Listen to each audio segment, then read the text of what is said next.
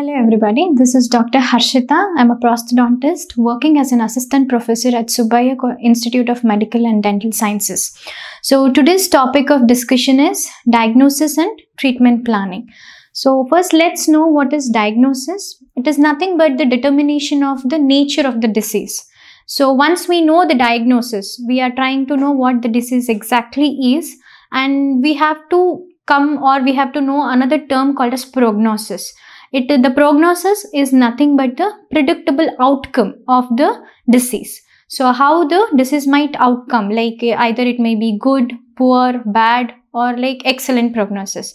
So this is the two important terms which we have to know the diagnosis and prognosis. And then later on depending on the diagnosis and prognosis we plan something the procedure of the treatment that is called as like treatment planning. So based on these two things we plan the treatment so, in the process of diagnosis, we can determine the nature of the disease, how its onsets, what are the reasons for the disease, how it's going to uh, take the progression, or the disease might get even worse, or how we are going to have a control over the disease. So, why is it so important to know the diagnosis or the prognosis or, or to have something called as a treatment plan in something called as directly we can a patient comes and we do what we can do whatever treatment we want.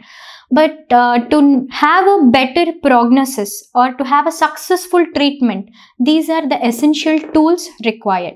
So in the case of diagnosis so we try to determine the nature and then coming to the prognosis how well the patient takes up the uh, disease condition Example, the prognosis, the major reasons for failure of a complete denture will be the inadequate diagnosis and the prognosis of the disease. So, the moment we do inadequate things here, so there is more chance of a failure of a complete denture fabrication. So, the diagnosis part involves three different uh, categories that is the patient evaluation, coming to the history taking, patient history taking, either it can be medical or dental history and then coming to the examination of the patient.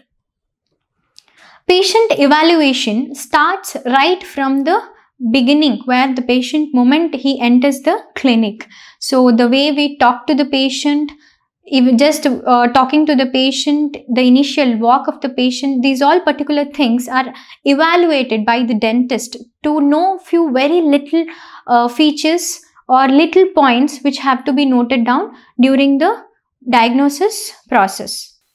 So, as I said, the right from the beginning of the entry to of the patient. So, first and foremost thing which we see is the gait of the patient. Why is it important as the dentist point of view or a prosthodontic point of view? So, gait is nothing but the way the patient walks in. So, the walking style of the patient tells lot of things. Example, if the patient in the second picture, we can see a stooped shoulder of the patient. So, the stooped shoulders of the patient or any tremors in the head of the patient will tell us something about the Parkinson's disease or about the spinal changes happening in the patient. And something called as a foot drop or dragging of some leg in example in the fourth picture. So, this particular thing tells us that the patient has got something related to stroke changes. So these particular things are to be noted because from the prosthodontic view, we have different procedures like impression procedures, alternative impression procedures and the uh, precautions to be taken during the jaw relation recordings for such particular patients.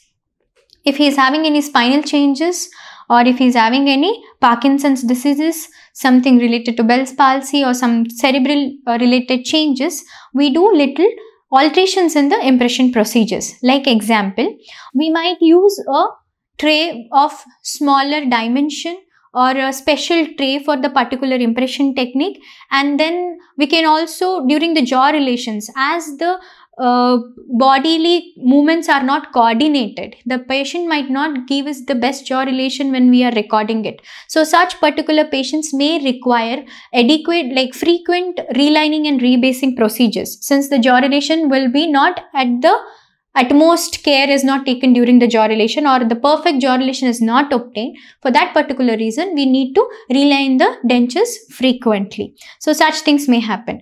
In few cases where salivation is more because of such diseases or disorders, so there during impression procedures, we have to use something like local anesthetics or we use something like antisialagogues can be used to control the salivary flow for the better impression procedure. So coming to an MCQ, most commonly common difficulty associated with neuromuscular disorder in construction of complete denture is recording jaw relation, difficulty in impression making, difficulties in arrangement of the posterior teeth and difficulties in border molding of the impression.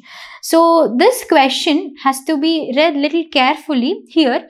The most common difficulty associated is the point.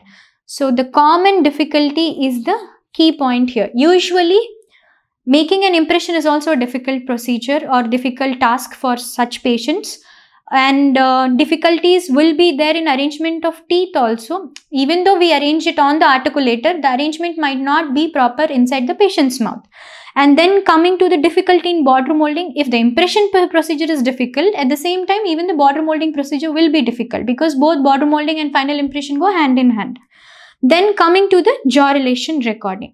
So even though these three also make sense to the answer, but the most appropriate, the common difficulty and which will affect the denture mostly is our jaw relation. So in this question, the answer will be recording the jaw relation because here the patient doesn't have a steady neck to give us the exact recordings of the maxillomandibular relationships. Then next coming to the age of the patient. How does it even matter the age of the patient? As I said in the previous section that age is a matter in complete denture because both the extremes of age are going to be affected in complete dentures. Even though if it is not too young in case of like aggressive periodontitis, the decades are like around 40th decade to 60th decade. So both 40th and 60th have different minds, mindsets where a 40th decade person will go or will have a higher demand of aesthetics whereas a 60th decade person will have a demand of function comfort is of more importance to that particular age group. So again it differs. So the younger age people have more demanding uh, they are more demanding and the healing capacity of the tissue is more when compared to that of the 60th decade. So younger people, even though uh, there are some ulcerations or some mucosal changes or sequelae of the denture wearing can be taken care of and it heals off very easily. But in cases like older age people where the healing capacity is compromised, again it is a issue. So in such particular things, we need to know the age difference or like the age of the patient is very much important. So depending upon the age, we plan the treatment plan as I said. So example, if a young patient is given with the dentures of at most function, but there is no aesthetic the patient is not going to accept the denture in a better way.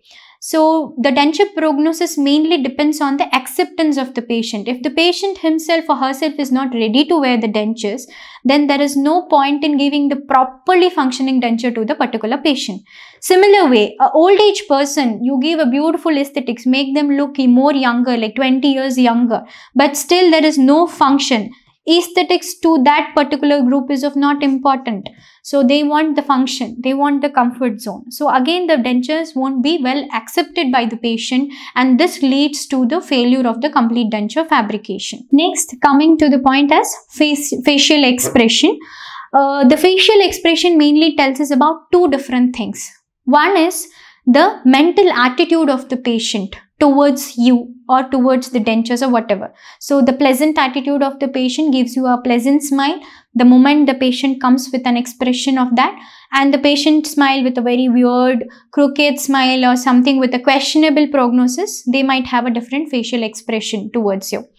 Then coming to the some disorders which are associated like Bell's palsy, trigeminal neuralgia, such neural disorders are affected or the facial expressions are nothing but the signs of such particular diseases. So the muscle tone will be lost in that particular region. So you should have an idea this particular facial expression will give you the uh, symptom or the thought of changing the muscle tone of the patient, whether it can be improvised to make a successful complete denture or not. So as I said, the mental attitude of the patient can be judged with the facial expression.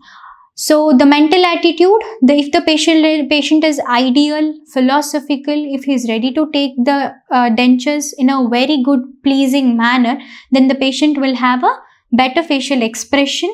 So no questions or no queries about the, or he is not questioning the ability of the dentures over here or the dentist over here.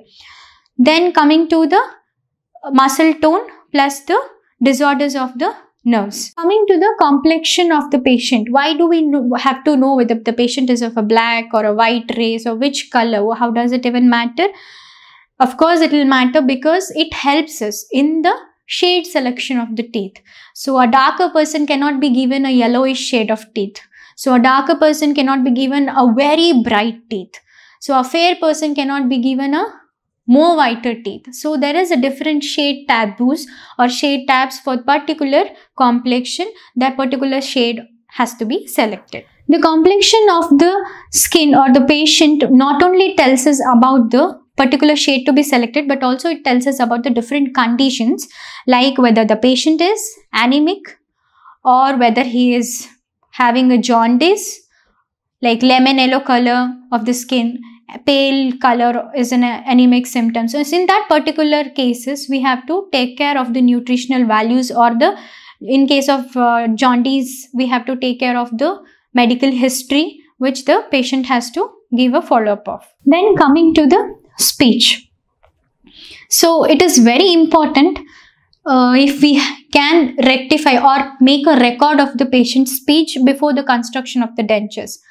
Uh, so if you can ask for the patient for the before recordings when the patient, patient was dentulous is okay. Even though if we are not having that particular uh, clipping or recording we can just ask for the uh, or we can just record and keep the audio recording of the patient to show the patient that after wearing a denture how the phonation has been improved. So phonation or the speech is a very important point for people like public speakers, singers, and teachers. So these are few categories of people where they have given the speech at most important uh, criteria. This will be their priority. They don't want aesthetics, they don't want function, they just want the phonation to be at its perfect, at its most important point. So if by chance the recording is made uh, to and keep it as an, uh, uh, you know, like an evidence or for the safer side of the dentist to show that the improvisation has been happened after making the dentures. In case if the phonation has not improved, if there is, you know, more alteration in the sound of the patient, mm, which is not pleasing to the patient or which the patient is not accepting, we can redo the dentures and correct it accordingly. We can even match the audio clipping during the time of trying and make the final processing so that there is no redoing of the final processes again and again. And in case of any speech alterations to be made can be done. Example, hypernasality can be done. And even the hoarseness of the voice can be created. So hypernasality in cases of the palatal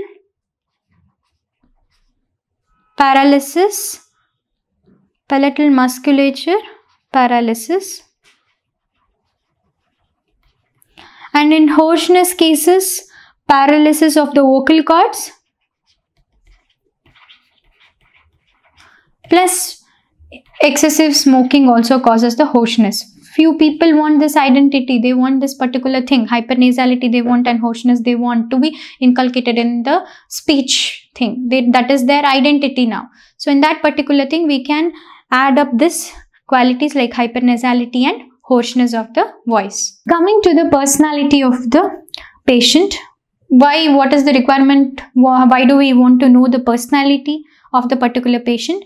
So again, it helps us to determine what kind of the dentures the patient is willing for. Example, if he is an executive, he or she is an executive, they would like to have a aesthetics as priority plus the arrangement of the teeth differs here. and even the selection of the teeth differs. Like we go for more rounder uh, like rounded and shorter teeth more polished aesthetically like example like IPN teeth we go for more aesthetic wise part of the teeth. If the person is someone who is more masculine or ruggedly uh, person if he is a labor or something where function keeps is more keeps the more priority function. So we keep for more larger teeth functionally good teeth have to be selected in such patients